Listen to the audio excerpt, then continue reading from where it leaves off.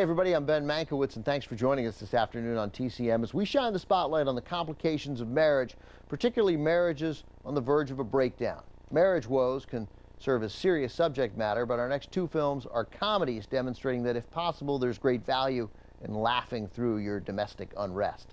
Up next, from 1967, written and produced by a true legend of the small screen, Norman Lear. It's Divorce American Style.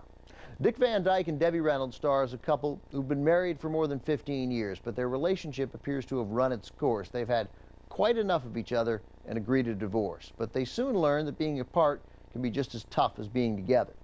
The dissolution of marriage is not a subject you'd expect to be fertile ground for a comedy, but that was Norman Lear's real gift, taking subjects that aren't funny on their face and finding a way to make the audience laugh.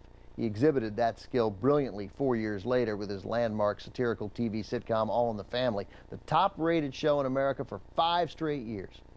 Lear earned an Oscar nomination for his Divorce American Style screenplay, but he did not direct the film. That credit went to Lear's longtime creative partner, Bud Yorkin. The movie's supporting cast is strong as well.